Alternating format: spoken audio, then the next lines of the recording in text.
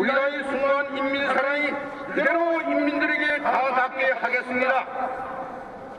우리는 정보 발전과 인민 생활 향상의 열쇠는 바로 우리들이 지고 있다는 높은 책임감을 안고 김정일 애국주의로 심장을 불태우며 인민의 행복을 위하여 사랑의 헌신과 역사를 펼쳐가고 계시는 경애하는 원수님이 부상과 구도를 맨 앞쪽에서 실현해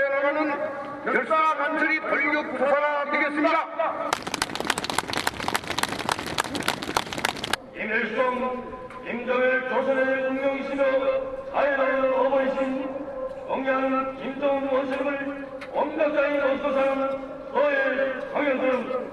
동명선열들이 창조한 연결사 옹양이 고귀한 남성을요 동양 원수님을 한 목숨 바쳐 원고 거리하는